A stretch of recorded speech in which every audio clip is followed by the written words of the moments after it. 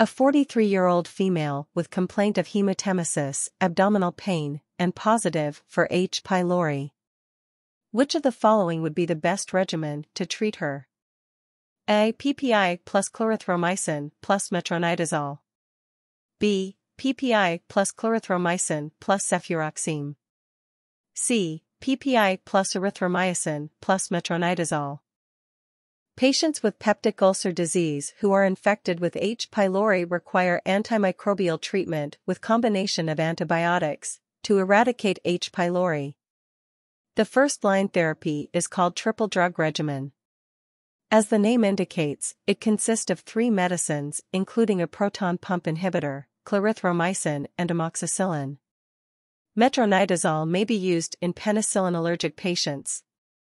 Quadruple therapy of bismuth subsalicylate, metronidazole, and tetracycline plus a PPI is another option. So, here the answer is option A, PPI plus clarithromycin plus metronidazole.